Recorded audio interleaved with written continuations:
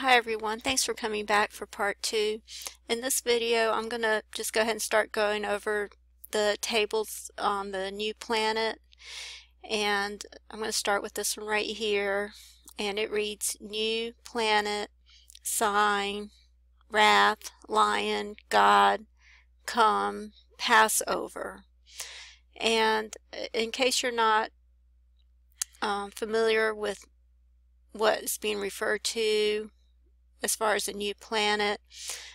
There apparently was a new planet discovered recently, and there was actually a prophecy by Dr. Owour about a new planet and that once it was discovered that the Messiah would be coming soon. And um, Charles Holler had made a video about that and I'm going to try to find that video and I'll put a link in the description box in case you're not familiar with that. I wouldn't have known anything about it if I hadn't seen that video by, by Charles Holler. So I'm going to put the link in the description box. But that's what you know I was thinking about when I put in New Planet because it, it was discovered recently and that was a prophecy that was made by Dr. Owour concerning the Messiah.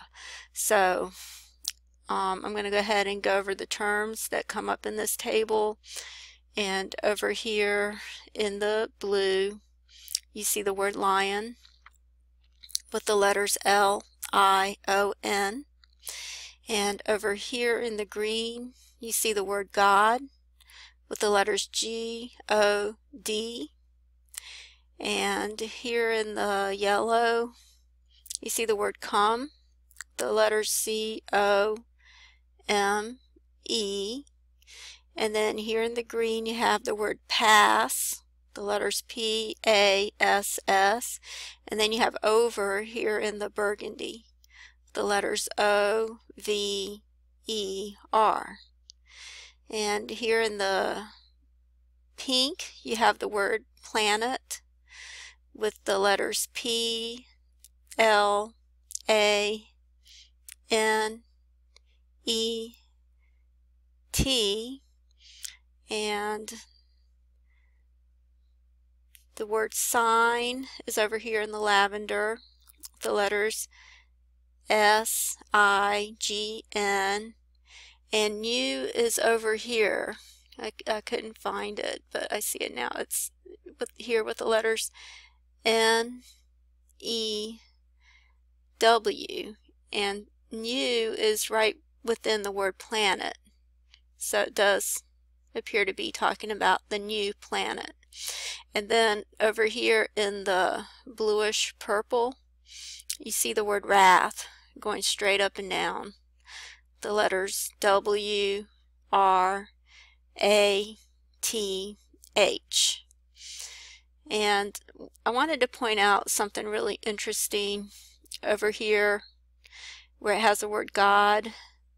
I'll go ahead and, and read the scripture over here because it's a little bit easier to read that way, but that, that's what's written right behind the word God here. It starts out with sing unto Jehovah, and I'll, I'll read it from over here. It says, I will sing unto Jehovah as long as I live. I will sing praise to my God while I have any being. Let thy meditation be sweet unto him. I will rejoice in Jehovah. Let sinners be consumed out of the earth, and let the wicked be no more. Bless Jehovah, O my soul. Praise ye Jehovah. Okay, this is obviously talking about God and Jehovah. And you can see Jehovah right here. And you can see Jehovah again right here. And there's Jehovah again right here. Okay, and the word God is right here in the green. So this is obviously speaking about God where it has the word God. Okay, and like I had said in another video, that seems to be the case almost every time when it's clearly speaking of God.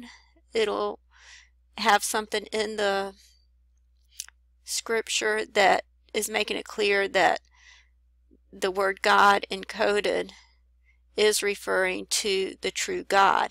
And there's only one time where I didn't see that to be the case, and that's when the Matrix was all about the Antichrist. It didn't have that phenomenon where it's talking about Jehovah or something to do with God. And I just want to show you some of the other tables I had done on March 26 where it had the word God. This one right here has the word God. And right where it says God, it says, crossing the G, it says, Give thanks unto Jehovah, for he is good, for his loving kindness endureth forever. And then crossing the O, you have it says, Let the house of Aaron, and it's talking about the house of God right here. So you have the term the house, crossing the letter O, and then crossing the D. You have Jehovah saith that his loving kindness endureth forever. Okay, so it's clear, clearly talking about God. Where it has the word God, has Jehovah right under it two times. Right here. And then, you know, I had talked about this in the other video. And then it has Jehovah is on my side right here. And then Jehovah is on my side again twice. And then you can extract his son from that as well because you can see the words his and son which would be Jesus right in there as well. So it says praise Jehovah right at the top of where it says God and then Jehovah again at the bottom several times. And then it's talking about the the house of God right in the middle which I really think what all of this is referring to is not only God, but it's referring to the house of God. Okay, I think that's very important. You know, once you understand that Jesus is the cornerstone and, and what the cornerstone represents, you know, it, it's a stone of stumbling for those who reject God's word, but it's a place of refuge it's the house of God for those who do accept Jesus and, and take refuge in him. It's it's the house of God. And in this other one that was on March 26, if I can find it.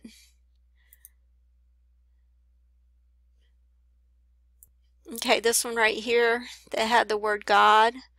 This was clearly talking about the house of God because you see over here it's it says gold where the letter G is and then where the letter O is it says in the most holy house and then where the letter D is it says gold again.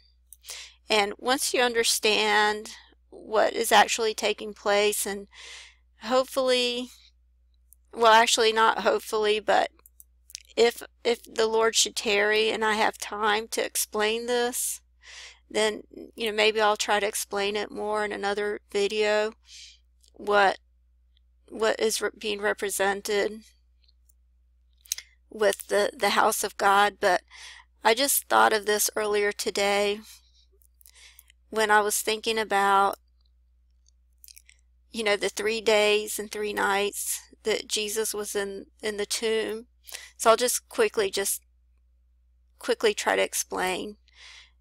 I think that correlates with the you know what what's going to be taking place here. Jesus was in the tomb for 3 days and 3 nights when he was undergoing his transformation. Of course, he was always glorified. He just took on human flesh willingly. But, you know, during that time, you know, when he was undergoing his transformation, he was in the tomb for three days and three nights. And I think that correlates with, you know, what the bride is going to go through as well and with what is being represented with um, what's going to take place with, with the, the rock and uh, God's church and the place of refuge. And I thought it was interesting because I was thinking it's sort of like, you know, a caterpillar in a cocoon. And it had just dawned on me, I had just realized that the word chrysalis, it actually means gold in the Greek. And, um, you know, this is definitely making reference to a gold house, sort of like the chrysalis that the caterpillar goes in while it's being transformed into a butterfly. And I just thought that was interesting, so I just wanted to point that out. So sorry for interrupting this table here that I was just on.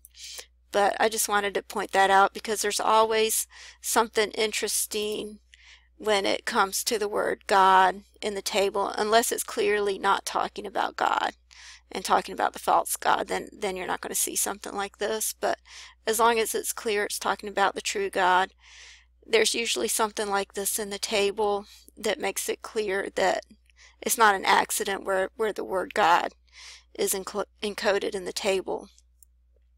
And I just wanted to point that out for um, you know, people that say that there's something wrong with using our own language and speaking our own language and that we shouldn't say things like God or we shouldn't say Jesus. You know, I mean, God is the one who confounded the languages and people shouldn't be trying to put burdens on people about how to say God's name. I mean, God knows who you're talking about and what's in your heart, and that's all that really matters. It's not how you say his name, but who you're thinking of and who you believe in when you say it. So I just wanted to point that out and I'll go on to the next table. Okay, this one reads New Planet, Nine, Sign, Wrath, Lion, God, Come, Sunday. And of course the, the planet that was discovered is uh, supposedly the ninth planet. You know, originally the ninth planet was Pluto, but then they decided that wasn't a planet, and now they apparently discovered a new planet that's supposed to be the ninth planet, so that's why I put in the, the number nine.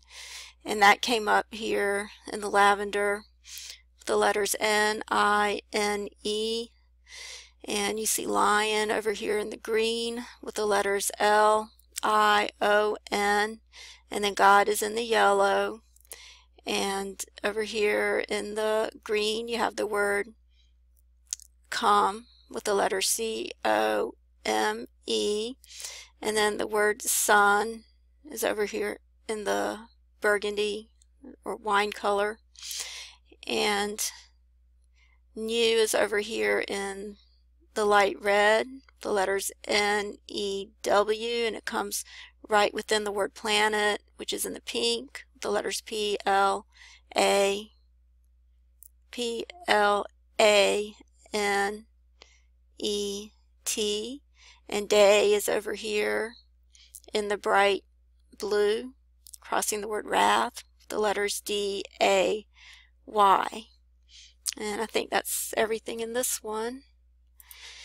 And the next one reads New Planet 9 sign, wrath, lion, God, reap, wheat. And again, you have the number 9 here in the lavender going at an angle. This time you have God over here in the gold and over here you have lion in the green, the letters L-I-O-N. You have sign here in the bluish purple and you have planet here in the pink. New comes right in with the word planet right here at an angle. I think this is using different letters this time for new. And then wrath is right up here in the blue going straight up and down. The letters W, R, A, T, H. And in the green you have the word reap. The letters R, E, A, P, and over here, you actually have the word wheat. It's sharing with the word new over here. And it goes, it crosses through the word wrath. And you can see the letters W, H, E A T